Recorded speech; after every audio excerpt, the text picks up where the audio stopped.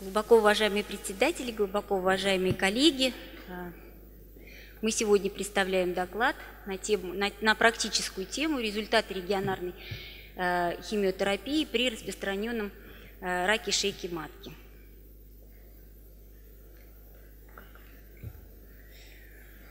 Ну, хочется начать, конечно, свой доклад тоже со статистики. А, сегодня об этом уже предыдущие докладчики говорили, о том, что, а, к сожалению, на сегодняшний день отмечен рост а, рака шейки матки, как и в предыдущие годы. И вот по данным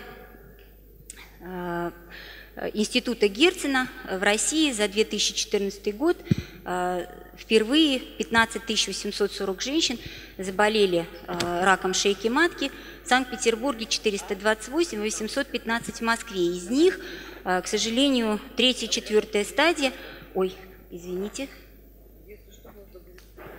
она составляет э, вот в Санкт-Петербурге почти 50, больше 50%. Более пяти лет э, больные прожили с раком шейки матки в Санкт-Петербурге почти около ближе к 60%. Целью нашей, нашего исследования это было э, исследовать две группы пациентов. Одна группа пациентов получала интраартериальную э, неоадъювантную э, химиотерапию, а другая группа пациентов получала предоперационную лучевую терапию. Мы эти группы выбрали для того, чтобы оценить патоморфоз, э, воздействие этих, этого, этих видов лечения и э, посчитать э, пятилетнюю выживаемость и безрецидивную выживаемость у этих групп больных. В одной группе было 54 человека, другой с предоперационно-лучевой 46. Возрастной диапазон у них был одинаковым практически. По гистологическому строению опухоли, конечно, превалировал плоскоклеточный рак, ну, как и в жизни, 90% это плоскоклеточные раки, 10% это аденокарцинома. Вот, и по стадиям они распределялись, э, мы брали э, местно распространенные э, формы рака, вторая А и третья стадия заболевания. По количеству больных в стадиях, ну, понятно, что здесь разные были у них количество. По стадиям больные распределялись э, те, которые получали интра, интраартериальную э, неоадъювантную химиотерапию, а, у них превалировала больше вторая стадия заболевания, в группе, получавшей предоперационную лучевую терапию – Э, так же, как и в первой группе, тоже превалировала вторая А-стадия заболевания. Поэтому группы были, в принципе, э, равноценными по составу. Э, по гистологическому строению 90% это был плоскоклеточный рак, большая часть 61%, и аденокарцинома, а это по гистологическому, извините, пожалуйста, это по G, э, да, да, да, по дифференцировке здесь превалировало тоже G2 а и э, G3. Внутриартериальная химиотерапия, использовались схемы э, КАП, использовался иритен с цисплатиной, с карбоплатиной и цисплатин с доксорубицином. Ну, в большей части у большинства пациенток использовались схемы Э, иритен э, карбоплатин и э, иритен и схема КАП. До операции больные в среднем получили от 1 до 2 циклов. Ну, вот, число получивших 2 цикла, их было больше. Нам так казалось, что это действительно эффект гораздо лучше оценивался при проведении двух циклов химиотерапии. А, по объему хирургического лечения мы разделили больных, которые получили радикальную операцию в объеме операции Вертгейма и циторедукция, которая выполнялась, а, кто-то, кому-то выполнили пангистерэктомию, кому-то выполнили только тота, э, расширенную гистерэктомию, поэтому здесь вот мы вынесли группу циторедукции. Конечно, вот среди э, пациентов, которые смогли получить радикальный э, объем операции, это были больные, которые прошли внутриартериальную неоадъювантную химиотерапию. По степени лечебного патоморфоза, в принципе, разницы в двух группах особой не было – ну, хотя интраартериальной химиотерапии в группе э, у больных было три э, тотальных патоморфоза в группе предоперационной лучевой терапии только у двух пациентов. И вот в, в большинстве э, случаев и после лучевой терапии, и 28% после регионарной химиотерапии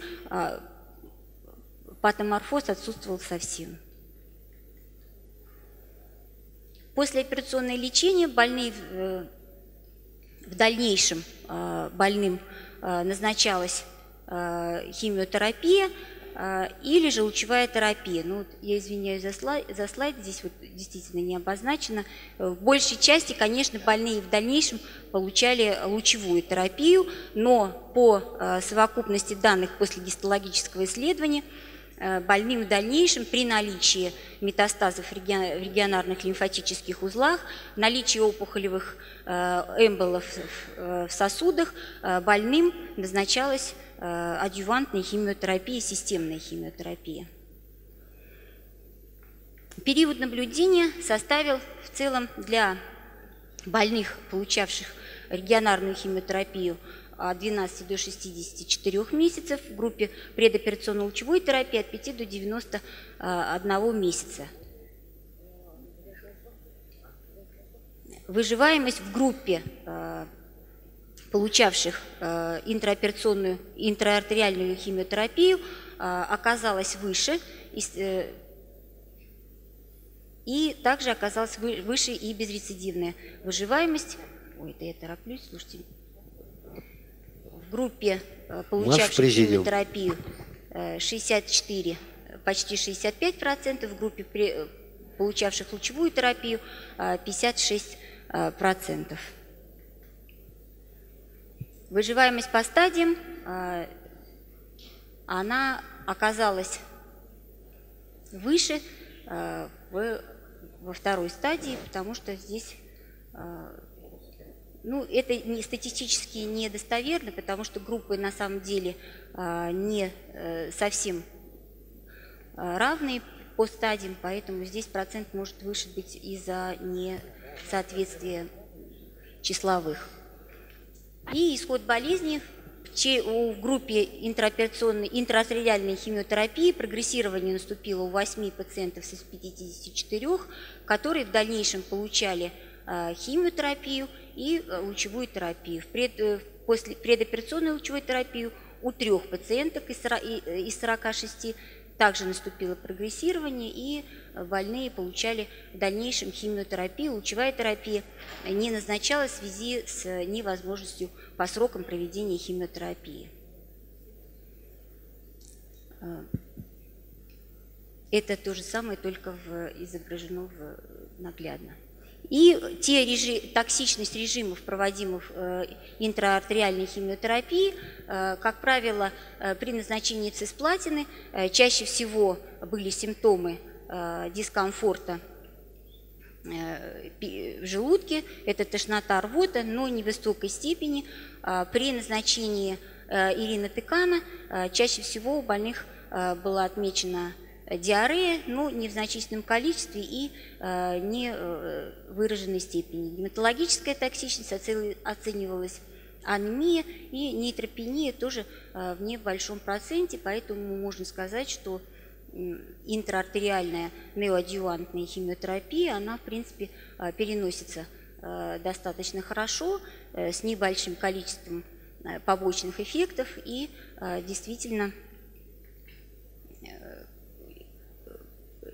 действительно с положительным эффектом. На наш взгляд, э, вот, интраартериальная химиотерапия, она действительно тот метод, который может позволить э, больных из неоперабельной формы вывести в операбельную форму, э, дать возможность прооперировать с дальнейшим последующим лечением, что может влиять на улучшение выживаемости и безрецидивного периода. Большое спасибо, Анна Сергеевна. Очень приятно было вас послушать.